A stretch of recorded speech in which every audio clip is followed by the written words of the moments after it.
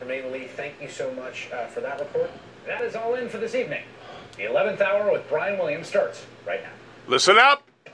The breaking news started late today and never really stopped. Giuliani subpoenaed by Congress. Then came the Wall Street Journal reporting that our Secretary of State was on the call when Donald Trump asked the president of Ukraine for a favor.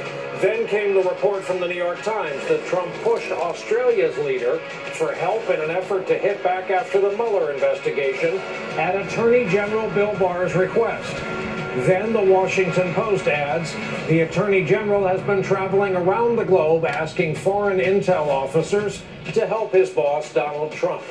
All of it against the background of an active impeachment inquiry. All of it as the 11th hour gets underway on a Monday night. It's a mess. Well, good evening once again from our NBC News headquarters here in New York. And what a back to work Monday this has been. It's a lot. The breaking news started late today, and it really has not stopped as we bring to a close day 984 of the Trump administration. And it turns out a phone call by the president had the power to do what the Russia investigation and the Mueller report failed to do, and that is to launch an official impeachment inquiry, a phone call. And the breaking news we are covering tonight has to do with that phone call between Donald Trump and the president of Ukraine when Trump pushed the Ukrainian president, Zelensky, to do him a favor and look into his likely Democratic rival, Joe Biden. Well, for starters, the Wall Street Journal reports, and NBC News has since confirmed that Secretary of State Mike Pompeo was on that call. He was among the officials listening in on the call of July 25, something not previously reported. The journal writes the revelation, quote, ties the State Department more closely to the House impeachment inquiry. Just last week, Pompeo was evasive when he was asked what he knew about that conversation. The Wall Street Journal is reporting that President Trump pressed the president of Ukraine eight times to work with Rudy Giuliani to investigate Joe Biden's son. What do you know about those conversations? So you just gave me a report about a, I think, whistleblower campaign, not, none of which I've seen. Are you confident that none of your staff, that you or none of your staff did anything improper in this whole uh, situation? To the best of my knowledge, and from what I've seen so far, uh, each of the actions that were undertaken by State Department officials was entirely appropriate. Also today, the president's globe-trotting personal lawyer, Rudy Giuliani, received a subpoena from the House Intelligence, Oversight, and Foreign Affairs Committee. Giuliani has been at the center of efforts to get Ukraine to investigate Joe Biden's family, and he's mentioned in the whistleblower's complaint multiple times. Democrats are asking for Giuliani documents, including text messages, phone records, other communications, and they want them by October 15. Tonight, Giuliani tells NBC News he hasn't decided whether he's going to comply. And in fact, just a short time ago, Giuliani was asked if he would ever agree to testify before Congress. I'm weighing the alternatives. I'm, I'll kind of like go through it. I'll get all my evidence together. I'll get my charts. I don't know if they let me uh, use videotapes and tape recordings that I have. If they let me um, get some of the evidence that I gathered. I gathered all this evidence before the Mueller probe ended. So it was clearly under my responsibility as the lawyer for the President of the United States. Well, the New York Times reports that Trump pushed the Australian Prime Minister during another recent phone call to help his Attorney General Bill Barr gather information on the origins of the Mueller investigation into him. NBC News has also confirmed this story, although a Justice Department official calls Trump's request merely an ask. Times reporter Katie Benner is among the authors of this story. She'll join us in just a moment. She, along with her colleague Mark Mazzetti, write, quote, the White House curbed access to a transcript of the call which the president made at Mr. Barr's request to a small group of aides. Trump was, in effect, asking the Australian government to investigate itself. FBI counterintelligence investigators began examining any Trump ties to Russia's 2016 election interference after Australian officials told the Bureau that Russian intermediaries had made overtures to Trump advisors about releasing politically damaging information about Hillary Clinton. Then tonight came this. The Washington Post reporting that Attorney General Barr has been holding meetings overseas with foreign officials, asking them to help in Trump's effort to investigate the Russia investigation. Big weekend for the president on Twitter, mostly airing his grievances about the Democrats' impeachment effort. Wow. Insisting, quote, I deserve to meet my accuser, the so called whistleblower, and I want Schiff questioned at the highest level for fraud and treason. Then last night, he pushed out a quote from a guest on Fox News If the Democrats are successful in removing the president from office, which they will never be, it will cause a civil war like fracture in this nation from which our country will never heal. This afternoon, Trump continued to hammer the whistleblower and Chairman Schiff. That's almost like a threat. That's almost like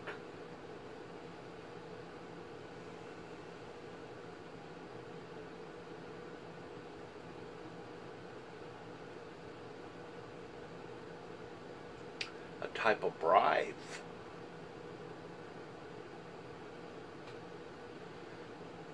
Maybe I used the wrong word.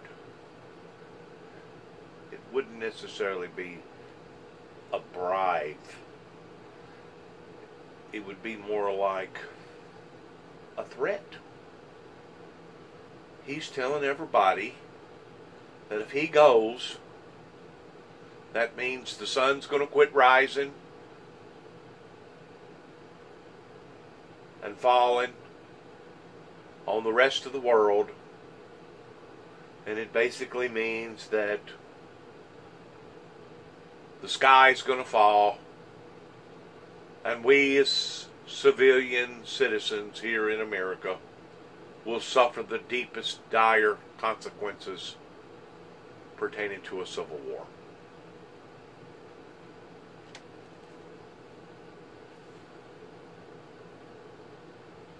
If there's ever been a time that we needed to pray for unity, clarity, and transparency, it is today.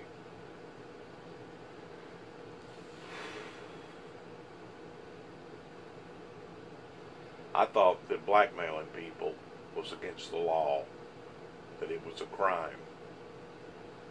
But maybe high ranking officials can blackmail their citizens in a frightful scare tactic that they don't have to be held accountable for. I don't know. But this thing is coming unraveled quickly. Mr. President, do you now know who the whistleblower is, sir? Well, we're trying to find out about a whistleblower. When you have a whistleblower that reports things that were incorrect, the call was perfect. Uh, when the whistleblower reported it, he made it sound terrible. And then you had Adam Schiff, who, even worse, made up my words, which I think is just a horrible. I've never even seen a thing like that. Adam Schiff, representative, congressman, made up what I said. That prompted this response from the whistleblower's attorney, and we quote The intel community whistleblower is entitled to anonymity. Law and policy support this, and the individual is not to be retaliated against. Doing so is a violation of federal law. We have a lot to get through, and four of our very best returning veterans to help us do that. Philip Rucker, Pulitzer Prize winning White House Bureau Chief for the Washington Post. The aforementioned Katie Benner, Justice Department reporter for the New York Times. Berit Berger, a former assistant U.S. attorney with both the Eastern District of New York and, for good measure, the Southern District of New York. And Clint Watts, former FBI special agent, a distinguished research fellow at the Foreign Policy Research Institute, the author of Messing with the Enemy Surviving in a Social Media World of Hackers, Terrorists, Russians, and Fake News. Uh, good evening to you all. Uh, Katie, I'd like to begin with you and your reporting of what this linked the Attorney General to. Um, I thought that there was a U.S. attorney from the state of Connecticut who had been appointed, in effect, the investigator of the investigators, going back to the origins of the Mueller uh, investigation. How deep into this investigation is the Attorney General himself? I think that what we've seen with our reporting and that great Washington Post report is that the Attorney General is not only extremely interested in this review, but that he is essentially quarterbacking it. You're right, he did ask John Durham, the U.S. Attorney in Connecticut, to oversee it, but truly it is Bill Barr who is who is there every step of the way. The Justice Department would argue that he needs to be in part because this review involves so many high-level uh, foreign officials, and that it's it's Bill Barr who would appropriately try to get their cooperation. But also, I think you could argue that he's truly interested in this. You know, he said before uh, Congress earlier this spring that he believes that spying did occur on the campaign. He wants to know whether or not it was unlawful, and he he himself personally wants to get to the bottom of this. Phil Rucker, let's talk about our Secretary of State, Mr. Pompeo. Yeah. Um, and it probably bears repeating this is not a fly by night individual. Here's a guy who graduated number one in his class at West Point and went to Harvard Law School. Uh, he knows from what is proper and he knows better, uh, in lack of a better phrase. Um, how damaging is this news? He was on that call. Well, Brian, it's a, it's a really surprising uh, revelation today that he was on that call, and I think it shows a few things. And, and, in terms of damaging, by the way, it's very problematic for Secretary Pompeo himself because he now becomes ensnared in this impeachment investigation. But what it tells us about the administration is that what Trump was doing with Ukraine uh, was supervised in a way by the Secretary of State, and that the Secretary of State did not uh, apparently register any alarm about it, and in fact was questioned, as you showed in the opening uh, of the show, uh, by reporters, and did not seem to offer the full truth in his answers. You might even say uh, he was covering something up in his answers. And we're learning more and more about the role of the State Department in this whole Ukraine episode because Rudy Giuliani is talking about how he's been coordinating uh, some of his his his work with Ukraine, his conversations with Ukraine through the State Department, and it begs the question of whether the State Department, which is supposed to be conducting foreign policy on behalf of the nation, is instead focused on the president's sort of personal political interests in doing the president's bidding uh, when it comes to the investigation of Joe Biden that Trump uh, has so wanted. Clint, this was another good day for journalism and for journalists. When you read this portrait of our Attorney General, talking with Intel folks overseas about Intel folks on the home team. That's not a great look, is it? If you want to be an isolated country with no allies and not see what's coming, this is the way to handle your business. Uh, how confusing would it be for any other country around the world right now to have an attorney general come to you when you're normally dealing with the CIA or envoys or the DNI in terms of international intelligence, in terms of sharing information? It has to be baffling to them. And there is a complete erosion of trust, whether it's Australia, we've talked about today, Ukraine, all of our Five Eyes partners, Germany, the UK, they all maybe helped or supplied information during the Mueller report and the Mueller investigation.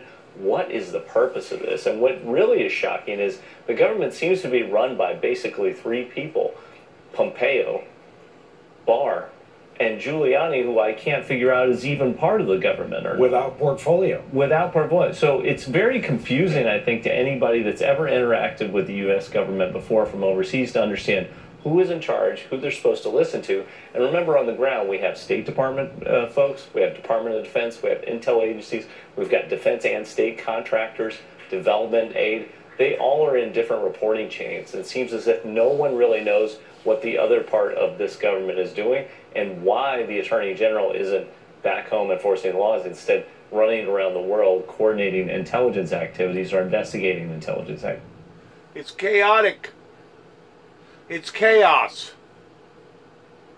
And it says in the Bible that Satan is the author of confusion. This is all confusion. It's become complex, chaotic and it's gotten worse and it could and it could very well become very dangerous if they don't watch because some people take people at their word and whenever somebody tells somebody something and then they find out that it's a ball-faced lie then is whenever you upset the apple cart. Berit Berger, why is it not witness intimidation to hear the president talk about the whistleblower and remind the folks watching tonight the protections whistleblowers have under the law. Yeah, I mean, I think it actually is witness intimidation. I mean, that is the whole reason that we have these type of whistleblower protections because it takes a tremendous amount of courage to come forward to, re- to report some sort of misconduct or criminality, but it also takes a lot of faith. It takes a lot of faith in the system that you will have laws that will protect you, that you won't be retaliated against, that you won't have the president of the United States actively trying to reveal who you are. I mean, if you think about it, given sort of the vitriol that the president has expressed so publicly about what the whistleblower has done, if this person, if this person is outed Or put out a bounty on you. this person would certainly have a bounty on their head. So I think we can't overstate sort of the danger of the president really making these statements, trying to out this person. Right. Phil Rucker, um, the president seems preoccupied with the whistleblower and Chairman Schiff, among other things. Is this again the absence of a overarching strategy? Well, the overarching strategy at the moment, Brian, is whatever President Trump is thinking in the given hour. There does not seem to be a grand strategy, either from a legal perspective or a public relations perspective, to get him out of this hole and to protect the presidency. And so, what he's doing, uh, and we saw this throughout the weekend, is he's lashing out. He's trying to discredit the whistleblower. He's trying to discredit Chairman Schiff. It's notable, by the way, that he's going after Schiff much more intensively than he is going after House Speaker Nancy Pelosi, who's the one last Tuesday who launched these impeachment proceedings. They, there's a calculation in the White House that Schiff is a more vulnerable target. But the other thing Trump is trying to do is project this narrative that he is somehow being unfairly persecuted, that he's the greatest victim in the history of victims. Uh, no president's been treated this way throughout American history, as he claims on Twitter. And, and he feels this sense of self pity that he's broadcasting to the world. Uh, and that is significant and it's different. We've not seen that before with other presidents who've been uh, staring down impeachment. Katie Benner, can you remind our viewers of the kinds of professionals inside DOJ? Forgive me, I have this respiratory thing that uh, half of New York seems to have. Uh, excuse me. The kinds of professionals who reside inside DOJ who would take a dim view of Rudy Giuliani's travels as a de facto kind of hovering attorney general or the actual attorney general's travels on behalf of his boss. Sure, taking Giuliani first, I think that both professionals inside of the Justice Department and the State Department would take not only a dim view of what Rudy Giuliani has done, but they would say that it actively hurts them and it makes it harder for them to do their jobs because they also have to interface with foreign leaders, foreign officials, and other law enforcement people. And not knowing what Rudy Giuliani is saying makes it very difficult for them to have credibility, and also so they can get caught flat footed. With regard to Barr, it's very interesting because the Attorney General is trying very hard to make the case that everything he is doing is within the letter of the law and that he is doing it for a valid reason. He wants to know if people acted unlawfully in 2016. And while he makes that claim, it's interesting. I'm starting to hear more and more from career professionals inside of the Justice Department that they don't understand why so much time and energy is being devoted to a review for which we already have one other investigations looking at. So we have an Inspector General investigation that should be completed soon, we hope, that should give us some insight into what happened in 2016. And then we, of course, have the Mueller report, which was a very full account of what happened in 2016. So I think people are, one, confused about the Durham Review in general, and two, very surprised to see the Attorney General taking such a firm interest and being so active in it. Clint Watts, um, you are a U.S. Military Academy graduate and a former Fed and a patriot. So when the president says what he said, casually invoking a civil war in the United States, how does that strike you? I thought it was America first, and it was supposed to be about all Americans, and it really seems to be only about certain Americans. And it's bizarre to me that the president, whose job is the commander in chief, is also the unifier in chief of the country. He's supposed to set out a vision for the Exactly. country, help mobilize, and do the best for as many Americans as possible. Exactly. That is the inverse uh, of what I was taught as leadership when I went to West Point. Whether it was serving in the Army, the FBI, or other roles in government, I don't understand why he attacks people of his own executive branch. Uh, someone needs to remind him that the FBI is part of his his org. Right. Uh, the CIA is part of his organization. Right. All of these outfits are part of his organization, and the way to lead them is not by tearing them apart, by not going after FBI agents for doing their job or going Right. after intel officials for doing their job, but instead give them a vision of what you want them to achieve and how you want to achieve it. And I've never heard that in the two and a half years that President Trump has been in charge of this country. And finally, to Berit Berger, do you think Rudy Giuliani is a walking gold mine of information now? Tonight, he's just fluttering out the the notion that he may have recordings or video, uh, cinematographer style, um, that we didn't know about. But uh, also, what is the consequence if he says no to cooperating?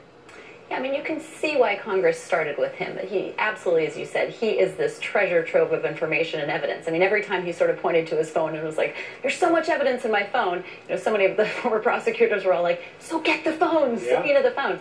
Um, but to his comments about, you know, he's weighing his options with respect to this, we keep saying this, but subpoenas aren't voluntary; these are compulsory. He may have some, you know, privilege issues that he wants to float around. I don't know how effective those were going to be. I mean, you know, just having a lawyer involved in a conversation doesn't necessarily make a communication privileged, right? I mean, every conversation that you and I have had is not privileged Well, because they've been watching the whole time. Right, yeah. exactly. So it's not confidential. It's not seeking legal advice. So I think there's going to be a lot of questions raised about you know, what was Giuliani's role with respect to the president? What type of legal advice uh, was the president seeking? What was the nature of their conversation? If this is really the president, you know, directing Giuliani to take certain actions on his behalf, I'm not sure that's going to qualify as sort of typical legal advice that would potentially protect it from um, having to be disclosed to Congress. So I don't know that he's going to have a successful defense against having to comply Exactly. with the subpoena, which does not mean he won't try. As we said at the outset of tonight, it's a lot. We are much obliged to our front four for helping us get through it all. Phil Rucker, Katie Benner, Berit Berger, Clint Watts, our thanks. Coming up, there's been a big change just in the past few days. It has to do with public opinion on the topic of impeachment. And later, the man who says he knew it was a bad idea before Trump even got on the phone with the Ukrainian president. Oh, and by the way, he doesn't work for our president anymore. The 11th hour just getting started on this Monday night.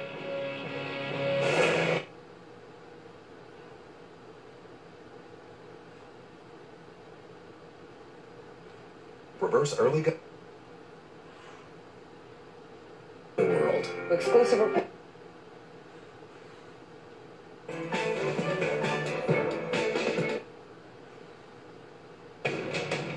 This week, House Democrats plan to get depositions from key State Department officials mentioned in that whistleblower complaint. Wednesday, they'll hear from a former U.S. ambassador to Ukraine who was ousted from her post. Thursday, the ex special envoy Kurt Volker will be questioned. Friday is the deadline for Pompeo to respond to a subpoena. And it is also when the House Intel Committee will hear from Intel Community Inspector General Michael Atkinson about the handling of the whistleblower's complaint. As we said, it's a lot. The Senate is watching to see what happens, no surprise. Today, Majority Leader McConnell was asked how he will respond if the House votes to impeach the president. if the House does uh, go down that path, and we'll follow the Senate rule. I would have no choice but to take it up. Still with us, we've asked our, our print colleagues Philip Rucker and Katie Benner to hang around for one more round of questioning. Phil, let's talk about the Democrats in the House. Every minute we're we're watching and listening to Schiff. We're not watching or listening to Nadler, who happens to chair the Judiciary Committee. Famously, when that committee had their moment of moral high ground, snubbed by the Attorney General, they answered with an empty chair for emphasis and a bucket of chicken, uh, which kind of ruined the moment. Do you think there is some strategy behind Pelosi's assignment? There seems to be, Brian. I mean, part of the reason for the assignment is that the, this issue of the Ukraine call and the whistleblower complaint seems to fall squarely uh, in, in the lap of, of the House Intelligence Committee. So it's only natural, uh, therefore, that Chairman Schiff would be taking the lead on this. But I think Pelosi is also expressing real confidence in Chairman Schiff to be able to handle this uh, delicately and, as she put it, expeditiously. Uh, one of the things that's been so breathtaking in the last week is the speed with which Democrats have gotten these proceedings off the ground uh, and, and planned uh, planned these events of the week that you just laid out. I mean, this is moving very fast, uh, and and I think is surprising some people who are watching because Congress, as you know, does not usually move this fast. Uh, Katie, we're not used to our Attorney General uh, doing that much overseas travel. It's generally considered a domestic job. This AG is back from the UK and Italy. No comment on the travels. And I guess my question is because of your reporting and what else is out there, I, are we going to now view all of his actions, travels, and movements through this prism of how much of it is devoted to this investigation? Yeah, I think that even if we weren't aware of his overseas travels, because he is taking such a hand in this investigation, because he has already said that he believes that spying was conducted against the Trump campaign and he has questions about whether or not it was done incorrectly, I think that it would be impossible to not view the Attorney General through the lens of this investigation, or this, sorry, as they would put it, review into why the intelligence community chose to look into the Trump campaign. One of the issues for the Justice Department and for Bill Barr is that these two things, this review that John Durham is doing and the work that Rudy Giuliani has been doing, especially his attempts to get dirt on, dirt as he would put it, on Joe Biden's son, Hunter Biden, these things have become conflated in the president's mind, which is what we see in the Ukraine phone call. And so for the Justice Department, they're going to have to distance themselves from that in order to continue to say that what they're doing is legitimate. Of course, for the Democrats who Phil says, you know, very correctly are moving extremely fast, they are going to grab at anything that they can use to ask more questions and gather more information, it's inevitable that they start to look at the Attorney General. As I said, it was another proud day for journalism and journalists. Uh, two of the best uh, hanging out with us tonight. Katie Benner, Phil Rucker, thank you so much for taking our questions and coming up. All the President's Men, a deeper look at who was reportedly listening to the call with the Ukrainian president and who wasn't when we come back.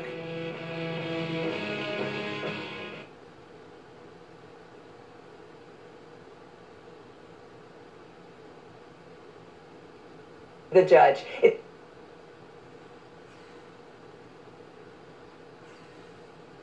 former national security advisor, now out of a job, that John Bolton, knew it was a bad idea even before Trump called the new president of Ukraine. Our own Carol Lee shares a byline on this report that reads in part, quote, Three officials said Bolton argued against Trump calling Ukrainian President Zelensky on July 25 because he was concerned the president wasn't coordinating with advisors on what to say and might air personal grievances. Now there is growing and understandable fear that Bolton and his allies, who are out there in the world talking, might inflict damage on this president after they've exited. Quote, they know where a lot of the bodies are buried, one person close to the White House said. Officials also said Bolton was among senior officials, including Mike Pence, who did not listen in on the call. For more, I am joined by the aforementioned Carol Lee, an NBC News correspondent. Hey, Carol, why did Bolton know so well to oppose the call? And is what we're seeing here kind of that conditional courage where former Trump people speak out a little bit about the Trump administration in the rearview mirror? Well, what we know about what was happening at that time, which Ambassador Bolton would have been aware of, keenly aware of, was that there was this uh, effort by the president to hold up the, the military aid for Ukraine, um, and there was concern among people in the White House and elsewhere that that was somehow that the president was tying that to uh, what he wanted the Ukrainian government to do in terms of investigating the former Vice President Joe Biden and his son Hunter, and so Bolton would have would have been aware of that, obviously, um, and it was it was and so you know that you can't separate that from the fact that he was concerned uh, about the president making this call. Um, and so so now you know we've seen today we've learned things we've learned something new about each of these individuals whether it's john bolton or Rudy Giuliani or Bill Barr or Mike Pompeo. And when you look at the four of them, the only one of them is not no longer in the government, and that has a lot of people worried um, around the president because John Bolton was someone who left on very contentious terms, and he's well known in Washington as somebody who likes a good fight and doesn't really back down. And he's already shown that he's willing to speak out um, and confront uh, and disagree with the president and be a little more combative than other top national security officials who've who've left the White House. But you know, in terms of whether this is because he's gone, a little bit of that for sure, but also he was already talking, you know, out of uh, disagreeing with President Trump while he was in office, sometimes publicly, and that's part of the reason why their relationship deteriorated so much. And now it looks like the gloves is fixing to come off, and there's sure enough going to be a boxing match. Politically speaking. Um, any names come to mind? Who else might have cause tonight to be nervous about being sucked into this whole larger case? Well, I think there are a number of officials who there's there's sort of two different strands of people being nervous. There are pe- people who are nervous about being sucked into this and having to lawyer up and, and face potential subpoenas, certainly in the State Department um, and elsewhere. And then there's people who, you know, there's obviously White House officials who told the whistleblower um, about certain sequences of events and so there's very there's people who are worried because the president is out there you know tarnishing the reputation and putting uh, potentially the whistleblower in danger and so there's a real concern there's a real search for who's talking, what are they saying, um, and and that has a lot of people very nervous, and and it's making it somewhat difficult to try to get people to talk to you. Or as they call it in Washington D.C., Monday. Uh, Carol Lee, thank you so much for coming on tonight. Sure, uh, thanks, and Brian. thank you for talking about your uh, your story. We will continue to look for your byline as we always do. Coming up, our next guest says Donald Trump can't win re-election, but the Democrats sure can lose it.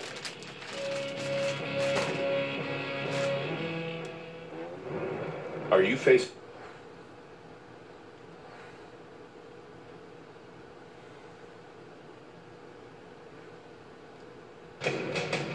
So over the weekend, some of the president's Republican allies in Congress, there are many, wasted no time defending him as pressure builds now over this impeachment inquiry.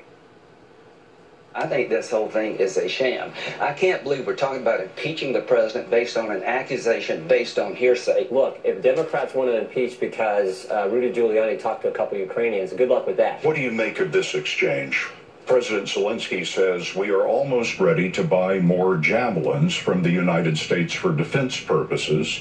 And President Trump replies, I would like you to do us a favor, though. Well, you just added another word.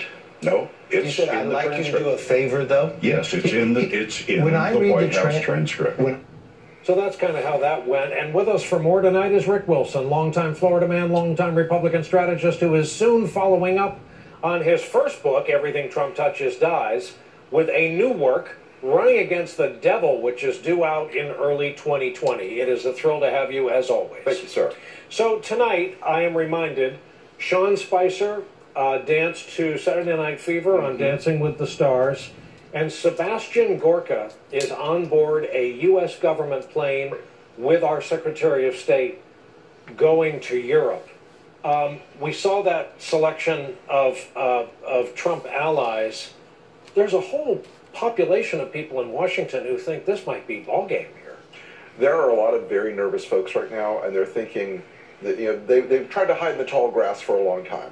They play the MAGA game when they have to, and they quietly whisper to reporters, "I am really concerned. My brow is furrowed. I'm, I'm deeply deeply troubled." And they understand that there's a point where you can't just keep pretending, and we're rapidly reaching the point where you can't just keep pretending. And you know what was Bill Barr doing in Italy? Why are they making these phone calls to Australia? We want more of the details about Ukraine. You know, I know Seb Gorka is probably in Europe pitching fish oil tablets or whatever it is he does for a living now. But these guys are all of a piece. They are they are this this flotsam around Trump. So many of them are involved in this, and I hope they're all tonight pondering second mortgages so they can lawyer up. Can you imagine what it feels like for the Aussies as a, a lover and appreciator of history? There we were side by side on the beaches of Normandy. What do we want from them now? A little information. So yeah, help us help us blackmail a competitor in a, in a political election in the U.S. They're in trying to extort foreign powers by using the awesome majesty of the president's office and the powers of the United States government, trying to extort. It's just, it's the lowest level thug behavior. Um, I have a dramatic reading from the Twitter account of Jonathan Martin with the New York Times. It's about politics and your political party. The squeeze is on Republicans left in high income congressional districts and states. Here is college plus whites. I just love how demographers instantly reduce entire groups of Americans. 46% already for impeach and remove, 52% for the inquiry, 57% believe Trump thinks he's above the law, just 1% fewer believe he abuses the power of his office, 51% believe he's committed crimes as president. So you start thinking, wow, the Republicans should be very nervous. Then I look at Rick Wilson. Donald Trump can't win re election, but the Democrats can certainly lose it. It's an old problem. Explain. The Democrats have a great gift for snatching defeat from the jaws of victory unless they have generational candidates who are who are who have phenomenal skills. They had two in our lifetime. They had Barack Obama and they had Bill Clinton, who are both naturally gifted political figures. They understand how to connect with people. They have charisma for days. None of the current field reaches that level of performance. And I think that the danger that I've seen coming at the at the Democratic Party for a long time now is a lot of them still believe that this is going to be a referendum about policy. This election is a referendum, as all presidential elections are, about Trump. They are all referendum. All, the referendum thought in this election is going to be Trump or not Trump, X future or Y future. If the future you want is Trump's kicking you in the face until all eternity, well then reelect Donald Trump. If you want to argue about policy, you're reelecting Donald Trump. It's you've got. I mean, and, and Trump hands them right now the opportunity to go after him as a man who is corrupt, who is ineffective, and who has who has led this country into a place where the reputation of our president is as a is as an extortionist and a mercenary. When our president tosses out a reference to a civil war, Right. Right. I think that that is again. This is a way to make a referendum on this man. What kind of president in this country, you know, other than the guy, unless he's got Jefferson Davis fantasies, wants to go out and have their reputation be, you know, retweeting and praising somebody who who's threatening a civil war, if he doesn't get to, to operate above the law, if he doesn't get to be unaccountable in every way, The sky's gonna that- fall. This is the kind of thing that Trumpism has normalized in our country, and it's a great danger, Brian. Uh, Jeff Flake, consensus Hall of Fame, furrowed brow Hall of Fame member, concern face Hall of Fame member, says to his fellow Republicans, uh, you know, uh, there's still time to save your souls. Others remember Flake as the guy who saved Kavanaugh right before skipping town. Um, not the best guy to make that argument? Look, I would prefer, and there will be a tremendous first mover advantage for some seated member of the U.S. Senate right now to make that point and to recognize that Donald Trump will drag every single one of them under, and they will all drown and die politically if they don't start breaking away. This is the problem that 1973 and 74 taught us. In 1973, the Republicans were lockstep on Nixon. If you go back, it was all, it's a media conspiracy against the president. It's liberal elites against the president. Well, in 1974, the voters of the United States decided that 54 or that 49 Republicans needed to go home forever, and that eight members of the Republican Senate needed to go home forever. Forever. This is a political consequence of a corrupt president who abuses power. Right now, Donald Trump, and and the thing about Nixon, Nixon was not about money. Nixon was not about personal gain. Nixon was in the game because that was his character. Trump is venal. Trump wants political power so he can continue to enrich himself and his family. And this is a category above even Richard Nixon, and that takes a lot of doing.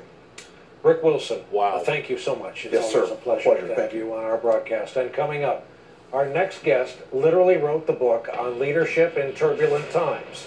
Pulitzer Prize winning historian Doris Kearns Goodwin is here and with us next when we continue.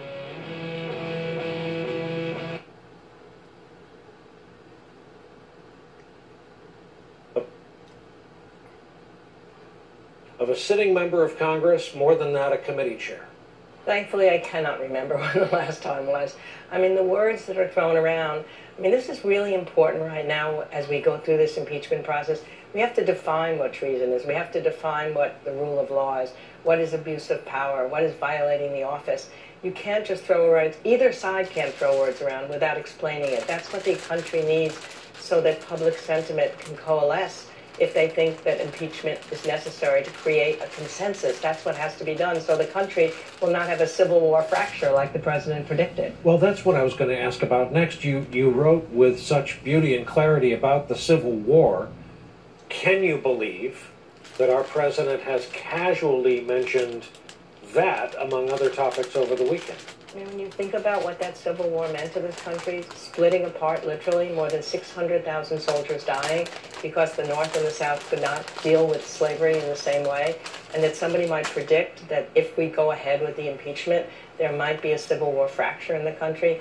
I mean, it's the last thing you want from a president who's hopefully going to be the president of all the people to be able to heal the country. You know, at least during the Nixon impeachment, by the end of it, when Gerald Ford stood up, and he said, Our long national nightmare is over. We are a government of laws, not a government of men. There was a healing process because the way it was dealt with.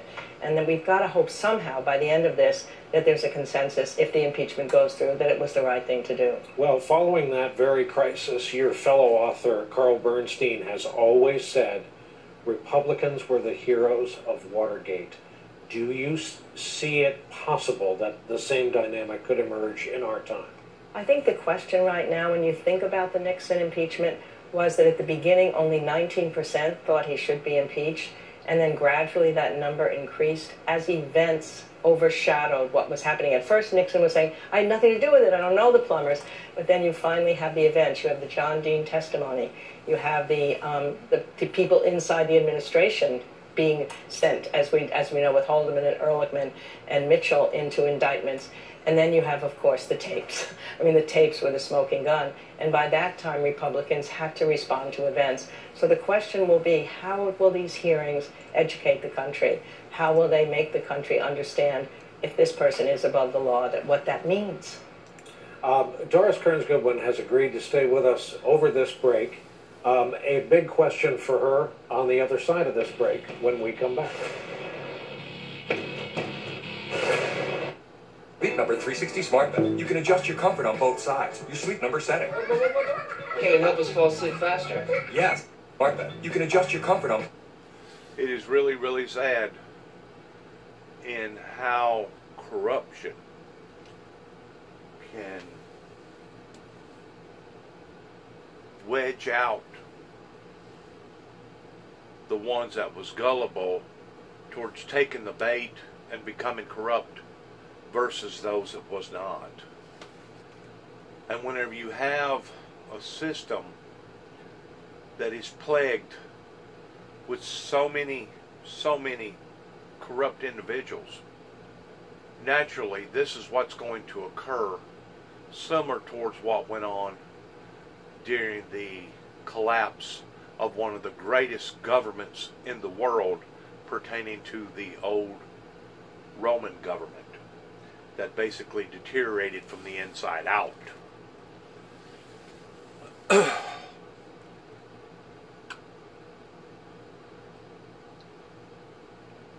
it's all about greed. And it's about selfishness. And it's about people not willing to put principle first and morals first. Because whenever these people get up there, They're only thinking. Each one is thinking the same thing about himself. They're thinking about how can I benefit? How can I, my family benefit? What kind of book can I write to make all kinds of money off of? And it wasn't that way.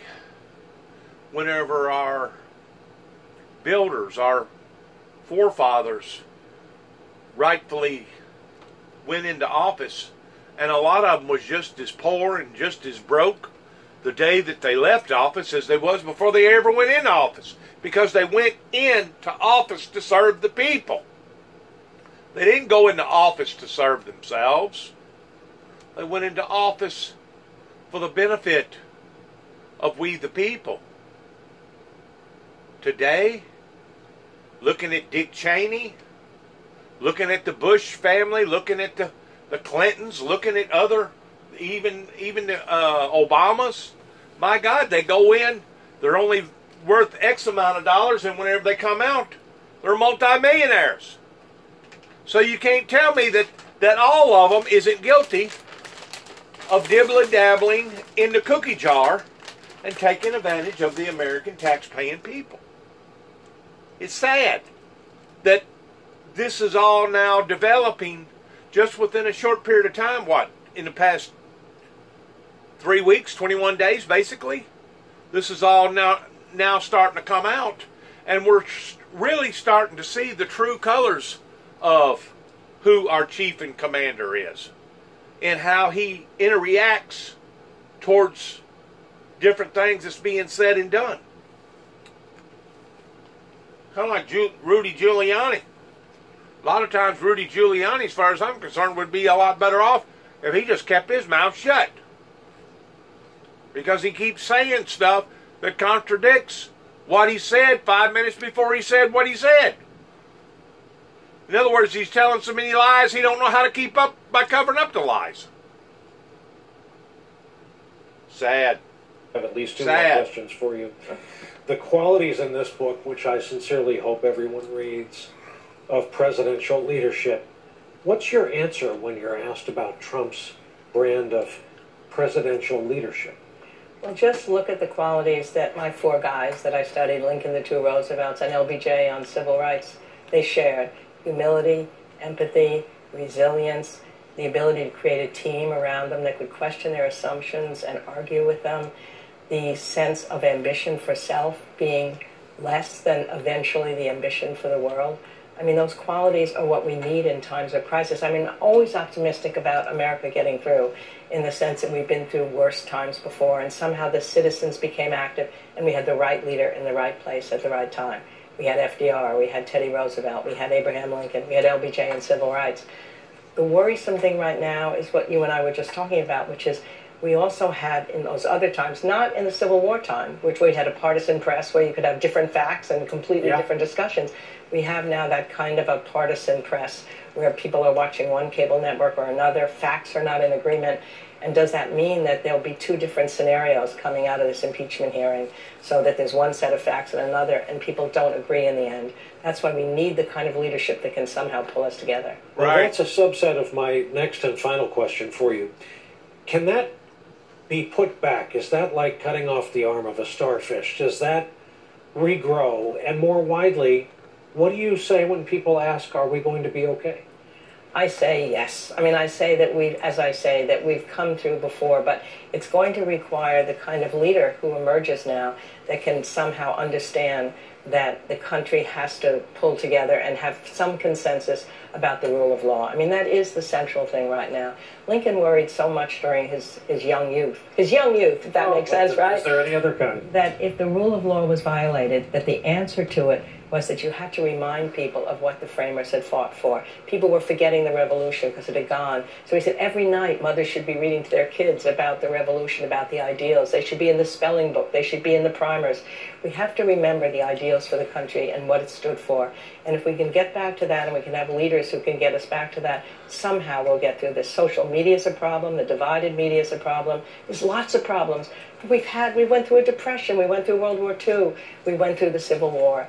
If we got through those, as long as the citizens are active, as long as they take part in this, they educate themselves, and the leadership educates them, we'll be okay. History Right. shows it. Are we ranking social media, it, giving it its importance as a multiplier of our troubles the way you think it'll be ranked by uh, uh, historians 100 years in the future? To be sure, it is now. The question is whether or not social media can also manage technologically to bring people together and to bring them to a common cause. We're not done with social media yet. We have to be able to figure out how to shape it. Right now, it's shaping us. Imagine if Lincoln had been looking down at his device instead of paying attention. Our thanks to our friend Doris Kearns Goodwin. The book is Leadership in Turbulent Times. And yes, these are. And that is our broadcast for this Monday evening as we start off a new week around here. Thank you so much for being here with us. Good night from our NBC News headquarters here in New York. I want to weigh in one more thing. You know, they brought up social media. Um, they was just announcing today on local news to where somebody had taken their own lives because of social bullying. And uh, whoever it was had a brother that thought enough of the brother that committed suicide that is going to take it to Washington to see what they can do about social media bullying. And that was one of the very reasons why that I made a conscious choice of getting off of Facebook was because Facebook is so interreacting with various people. I knew that if I was going to get my message out to the general public, I wasn't going to have time to listen to my critics. I wasn't going to have time to debate, uh, argue, uh, look at other people's uh, views because it was going to take up entirely too much of my time. And to be quite honest with you, you really don't accomplish anything by arguing or debating something. Um, you put your facts out there to the general public pertaining to uh, scriptures, biblical Bible prophecy, etc. You put your ideals out there to the people of how you see things and how you feel about things, and they make their own conscious decision about you, regardless whether they support you, they like you, they think you're a whack job, they think you're a liar, they think you're hustling them, they think you're just off your rocker. You know, the general public will be the ones ultimately that will make the the crucial decision about any individual, just like Donald Trump. It will be uh, the general public in a public setting that will basically persuade other people in how they feel and what they think about this particular president towards his actions, how he responds, just like this weekend, putting out what they say over I don't forgot how many tweet. He just went on a tweak storm uh, towards tweaking out all kinds of stuff. Um, people see through that. People can see that. And they understand that he's becoming emotional. He's becoming unhinged. He's becoming uh, basically a loose screw in not being able to talk civilized and settling to the American people during these close encounters of investigations that's going on right now uh, pertaining to uh, the when, the how, the where, etc., etc. So, the commentary that was talking to the young lady there about social media. Social media in ways can be used as a very, very powerful tool. But social media can also be used as a weapon. And that's the defining part that not only the American people need to settle in their hearts and in their minds towards what they want to base their future off of, for tomorrow and the day after tomorrow, but the world. The world in general. Because this new animal that has been created, right now, it's been unleashed to society. It's not harnessed, it's not tamed. Uh, you know, some of the stuff that I was picking up on Facebook, on social media, was just some of the most ungodliest stuff that I think that I've ever seen that social media plat, uh, Facebook platform was allowing for it to go on. Um, hopefully, we can fine tune this monster and use it for the benefit and the glory of God versus the benefit of the devil. Good night, and thank you to my viewers, and good luck to all of us. Shalom. See ya.